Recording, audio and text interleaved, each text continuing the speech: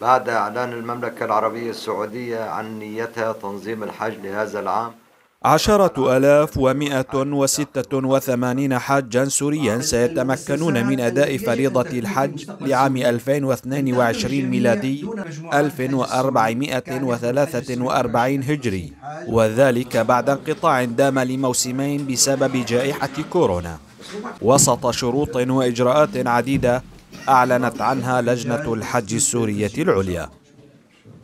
أنصح الحجاج أولا يأخذوا آه، لقاحات آه، فورا لأنه هذا بده وقت.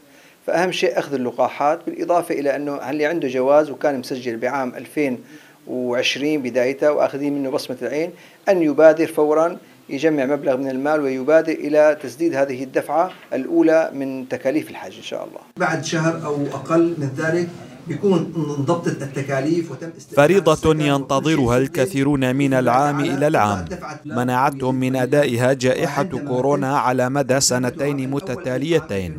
وما إن أعلنت المملكة العربية السعودية عن عزمها استقبال مليون حاج لهذا العام.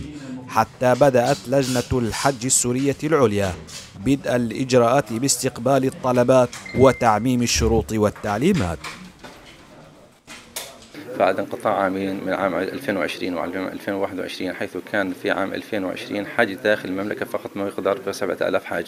وفي عام 2021 كان بحج داخل المملكة فقط بعدد تقريبا 60 ألف حاج.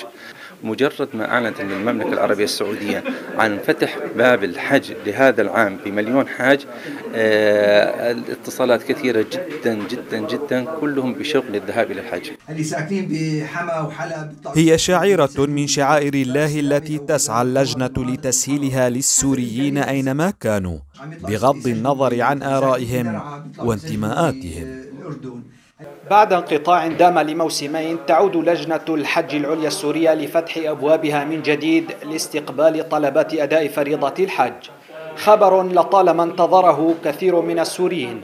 لما؟ لأداء هذه الفريضة من مكانة في نفوسهم.